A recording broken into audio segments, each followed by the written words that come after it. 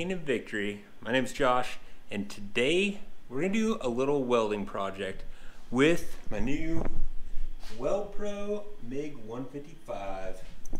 So I want to do um, kind of a simple little project with this thing so I can, you know, kind of get to know the machine a little bit more before we go on to build the fab table. So today, this is what we're doing. Check it out. All right, so we got this camp stove here. And I've got a couple of these plow discs. We're gonna make a plow disc cooker, cowboy wok. So basically what we're gonna need to do is get the wire wheel, clean all this rust off. Um, I'm gonna take a grinder and you know make this edge less sharp. You gotta plug this hole in the middle because don't want all that glorious grease dripping down out the middle. And then we're gonna bend some rebar handles on each side. And I've got two of these, so I'll show you how to make the first one and then I'll probably just, you know, get the second one made off camera. So, all right, let's get to it. All right, this is the closest size hole saw I have. And uh, it's gonna be a little bit of a fillet weld. We'll try that first. If I don't like it, on the second one, I'll just kind of use a skinny wheel and cut cut out a circle somehow.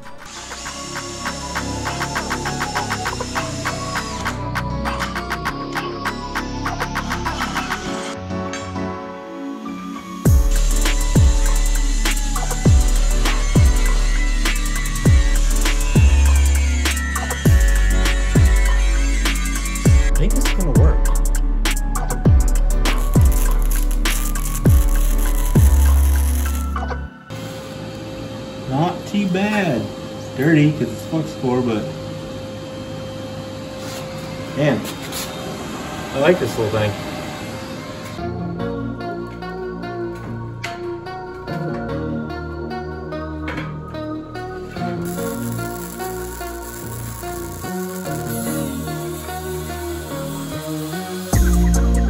Alright, not too bad. I'm not gonna make it perfect because like this whole thing's got divots and stuff.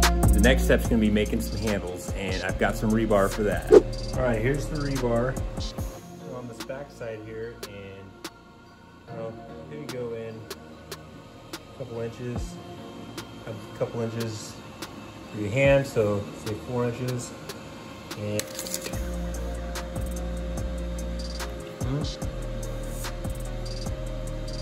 Go five inches to make it comfy.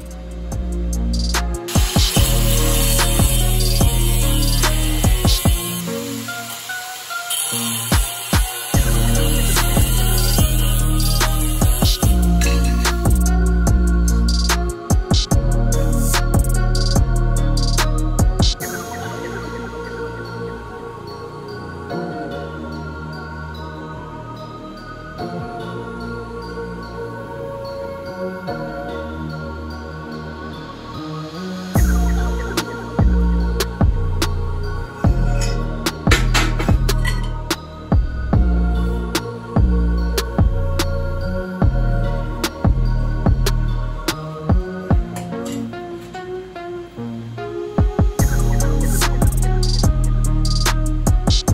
got the handles made. So now I just gotta kind of lay out where they where I want them to go.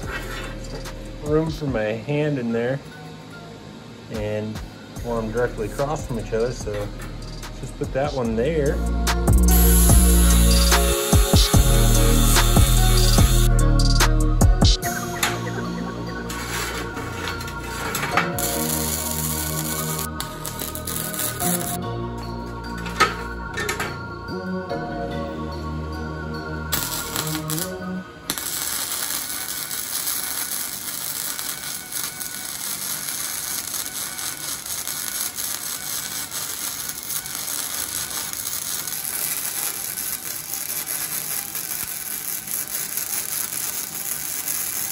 Man, I am really impressed.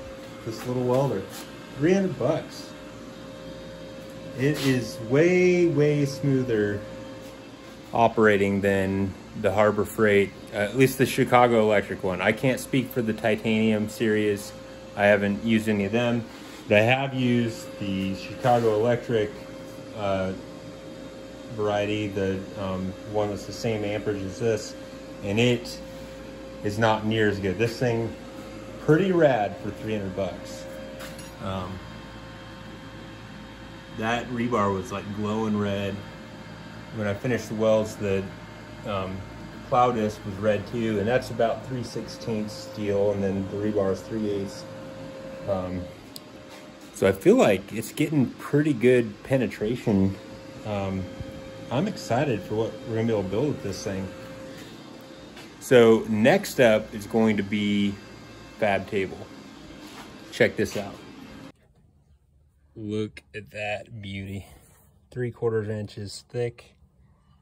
It's a freaking monster. I think it was uh, 330 pounds. It's like four by 36.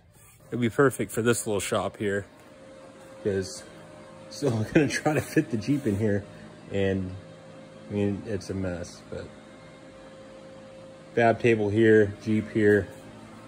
Um, I think it'll work out. So let's go try this plow disc cooker out.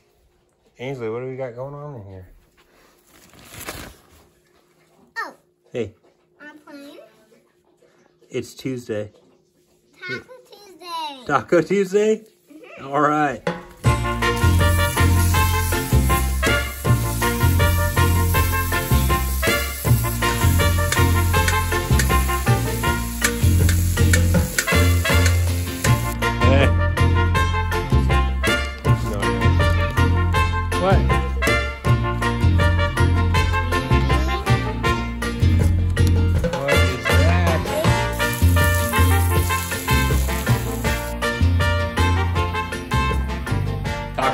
Tuesdays, always a big hit around my house. Now with these new plow disc cookers, I think we level up a bit. I am super impressed with that Weld Pro MiG 155. Now that I've got the polarity right, thank you to TB man for pointing that out to me. Uh, man, it's like a totally different machine. Go figure. So, um, yeah, even with the flux core, it's welding really well. So I'm excited to see how it does with, you know, shielded gas. Um, and I'm also excited to see how it does when I actually get 220. Because um, when you go from 110 to 220, the difference is amazing. So this little machine might be um, pretty awesome. Future fab projects. I uh, got that fab table. That's the next thing we're gonna do. So that'll be next. That way the future fab projects can be done right on a nice flat fab table that we can pound on, we can clamp to, all that good stuff. And I'm gonna put a little spot for the welder, um, maybe put some spots to uh, hang clamps and whatnot. So it'll be good. So stay tuned for that.